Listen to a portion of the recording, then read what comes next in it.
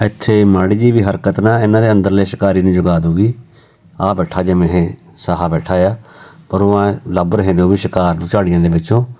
ਪਰ ਜਿੱਥੇ ਕਿਸੇ ਨੇ ਮਾੜੀ ਜੀ ਵੀ ਹਰਕਤ ਕਰਤੀ, ਨਾਲ ਹੀ ਇਹਨਾਂ ਨੇ ਕੰਨ ਖੜੇ ਕਰ ਲੈਣੇ ਤਾਂ ਉਹਦੀ ਫਿਰ ਜਾਨ ਬਚਦੀ ਨਹੀਂ ਹੈਗੀ। ਸਾਹਾ ਬਿਲਕੁਲ ਸਾਪੜਿਆ ਪਿਆ ਹੈਗਾ, ਐਨ ਵੀ ਜਿਵੇਂ ਇੱਥੇ ਕੋਈ ਹੁੰਦਾ ਹੀ ਨਹੀਂਗਾ ਐਨ ਘਾਹ ਦੇ ਵਿੱਚ ਐਨ ਲੁਕਿਆ ਪਿਆ ਆ। ਜਿਹੜੇ ਤੇ ਤੇ ਉਹ ਚੇਂਦੂ ਜੇ ਨੇ, ਉਹਨਾਂ ਨੂੰ ਕੁਝ ਨਹੀਂ ਪਤਾ ਲੱਗ ਰਿਹਾ ਹੈਗਾ ਵੀ ਇੱਥੇ ਕੋਈ ਹੈਗਾ ਜਾਂ ਨਹੀਂ ਹੈਗਾ। ਉਹ ਵੀ ਹਾਲੇ ਕੰਜਰ ਦੇ ਨੇ ਖਾਜ ਜੀ ਕਰ ਲਈ, ਮੂੰਹ ਤੋਂ ਉਹਨੇ ਵੀ ਕੰਨ ਚੱਕ ਲਏ, ਪੈ ਗਿਆ ਪਿੱਛੇ। ਲਿਆ ਲਾ ਸਵਾ ਤੂੰ ਤਾਂ ਹੁਣ। ਪਾ ਦਾ ਚੌਥਾ ਗੇਰ ਉਹਨੇ ਵੀ, ਓਏ, ਭੱਜ ਲਿਆ ਸਹਾਇਆ ਤਾਂ, ਦੇਤੀ ਰੇਸ। ਭੱਜ ਲਿਆ ਪਿੱਛੇ ਤੈਨੂੰ, ਉਹ ਵੀ ਭੱਜ ਲਿਆ। ਦੁਨੀਆ ਦਾ ਸਭ ਤੋਂ ਤੇਜ਼ ਭੱਜਣ ਵਾਲਾ ਜਾਨਵਰ ਆ, ਪਰ ਸਾਹਾ ਵੀ ਪੂਰਾ ਤੇਜ਼ ਜਾਨਵਰ ਆ। ਮੈਂ ਨਹੀਂ ਹੈਗਾ ਵੀ ਛੇਤੀ ਫੜਿਆ ਜਾਊਗਾ। ਉਹ ਵੀ ਜਾਂਦਾ ਛਾਲਾਂ ਮਾਰਦਾ ਪੂਰੀਆਂ, ਪਿੱਛੇ ਪਿੱਛੇ ਹੀ ਉਹੀ ਹੈਗਾ। ਇਹ ਲੈ, ਭੱਜ ਲੈ ਜੇ ਤੂੰ ਬੈਠਣ ਦਾ ਟਿੱਕੇ ਤੇ ਵੱਜ ਜਾਂਦਾ, ਓਏ। ਆਹ ਲੈ ਚੱਕ ਦੇਖ ਕਿੱਡੇ ਕਿੱਡੇ ਛਾਲਾਂ ਮਾਰਦਾ ਹੈ ਇਹਦੇ ਵੱਡੂ ਬਰਖੋਣੇ ਨਹੀਂ ਬਚਦਾ ਬਾਈ।